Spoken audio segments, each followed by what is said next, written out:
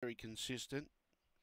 Tilly's Charms coming back in distance from the 600s and should run home okay. 360 out to 420, back to 390. Okay, all being placed away. Race 5 at the Dogs SA. Race 5 at Angle Park. Green light on, set to go.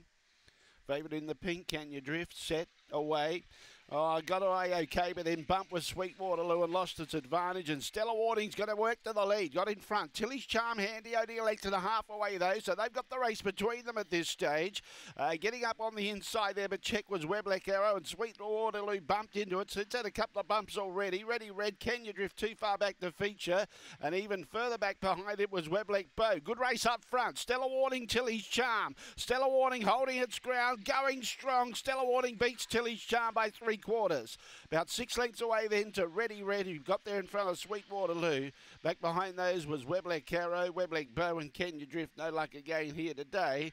Finished at the tail. The time was 30 and 13. Stella warning rewarded for its uh, consistency with a, a good victory here today has been thereabouts in recent starts and usually stronger the finish. So for her to pounce on the lead with a 447 was a good jump for her. And uh, she's taken first prize. A deserved victory. 5146. 5146. Kenya Drift's actually finished in fifth placing, running fifth, number eight. 5146 and eight.